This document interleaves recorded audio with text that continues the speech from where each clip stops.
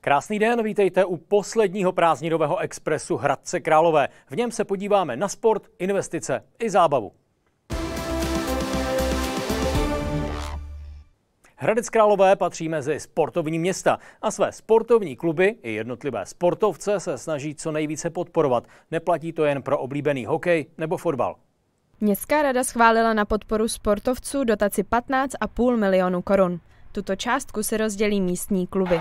Basketbal, tenis a nebo třeba cyklistika se tak dočkají své odměny. My samozřejmě chceme dát najevo, že Hradec nepodporuje pouze hokej a fotbal, ale e, i ostatní sporty. Jedná se o basketbalisty, volejbalisty, muže, ženy a závodníky v lehké atletice. A potom samozřejmě se snažíme podpořit i ty okrajové, jako já nevím, vodní polo, box a, a podobně. Hradec ale ukrývá i spoustu reprezentantů České republiky. Těmto jednotlivcům, mezi kterými najdeme třeba karatisty nebo judisty, se město rozhodlo rozdělit dohromady 960 tisíc korun. Máme vynikající lehké atlety, eh, takže těmto, těmto reprezentantům a těmto vynikajícím sportovcům ta dotace půjde. Ale vzhledem k nákladům, které oni musí vynaložit během celého roku, proto aby se těmto sportům mohli věnovat, tak je to skutečně víceméně symbolický příspěvek v řádu desítek tisíc korun. Podpora pro jednotlivce se ukrojí z fondu na podporu veřejně prospěšných projektů. Tereza Karanská, televize V1. Letos město vysoutěžilo odběr zemního plynu za nejnižší cenu od roku 2012. V příštím roce tak bude o víc než polovinu levnější. Od roku 2012 začalo město nakupovat zemní plyn prostřednictvím elektronické aukce na komoditní burze.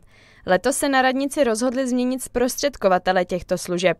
Zatímco před osmi lety se platilo 704 korun za jednu megawatt hodinu, v roce 2021 se bude platit 383 korun. Rozhodli jsme se pro burzu Power Exchange Central Europe, dosud jsme využívali eh, služeb Českomoravské komoditní burzy Kladno, se kterou jsme byli spokojeni, ale zkoušíme eh, další variantu možnosti vysoutěžit ještě lepší cenu. Za na burze vysoutěženou cenu odebírají zemní plyn například městské školy a školky.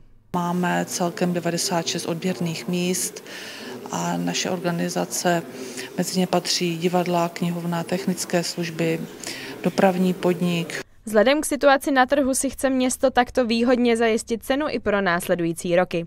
Tereza Karanská, televize V1. Protáhnout tělo na čerstvém vzduchu, vyzkoušet si svou orientaci a procvičit mozkové závity. Tak to je smyslem kukuřičného bludiště. To doslova vyrostlo v Hradci Králové. Bludiště je rozměrově větší než fotbalové hřiště a jich celkem devět v České republice. Není to však jenom obloudění, cestou totiž provází rodinka kukuřičáků. Máme tady pro návštěvníky nachystané tři hry. Jednu pro děti, pro nejmenší, potom pro dospělí, kterou si můžou vlastně zahrát i ty děti, které jsou už trochu větší, ale je to taky složitější na přemýšlení, musí tam sestavovat vlastně různý slova. Jedna, dva, tři a čtyři a je to č. Třetí hra je s telefonem. Spočívá v tom, že se lidé za pomocí QR kódu snaží dostat co nejrychleji z bludiště ven. Většinou celá trasa s hrami trvá 60 minut. Najdou se ale i tací, kteří bloudí 3,5 hodiny. Děcka zatím musí se jim chybět ještě asi dvě písmenka, už hledem to asi po třetí už, ale dobrý. Něco jsme tam trošku, bylo hrozně moc cest, takže jsme se tam trošku ztráceli. Zde líbí i všechno.